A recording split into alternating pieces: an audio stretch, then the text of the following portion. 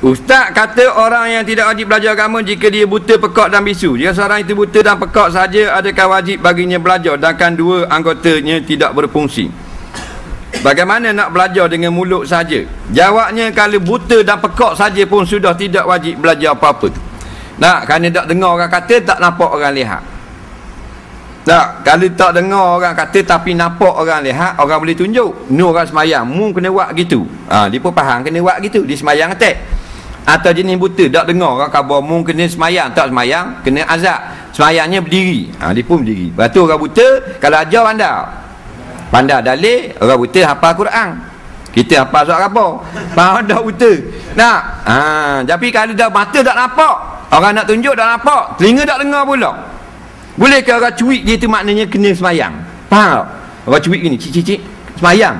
Tak. Tu orang ajar dah. Tak boleh juga. Maka tidak ada taklid syarak Faham? Ha.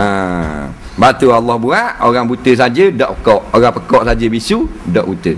Neh? Ha, jadi sempurna juga dia.